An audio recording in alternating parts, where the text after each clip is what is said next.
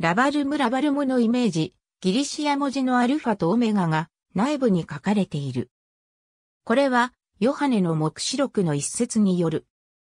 ラバルムとは、ローマ帝国正規軍の紋章の一つ、コンスタンティヌス一世により制定された。ギリシア文字の重ね合わせた形が特徴。この紋章をかたどった XP の組文字は、今日でもイエス・キリストの象徴となっている。312年10月28日、コンスタンティヌス一世は、ローマ近郊のミルイウス橋で、三奪皇帝、マクセンティウスと戦い、勝利を収めて、ローマに入場、西方の制定に即位した。この戦闘では、コンスタンティヌスは十字架を旗印としたが、それにはいくつかの説がある。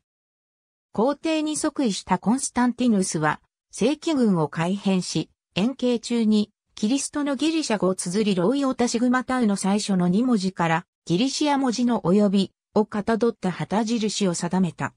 これが、ラバルーム、または、キーローと呼ばれるものである。同じ形のラテン文字に置き換えたものとする説もある。コンスタンティヌスがキリスト教を公認したことは有名であるが、実際には彼自身はローマの伝統である多神教における代表者の座を維持し続けた。一般にこのことは、コンスタンティノスがキリスト教徒ではなかったという誤解を生み出しており、研究家たちにもラバルムとキリスト教を切り離して考えるものが多く見られる。ありがとうございます。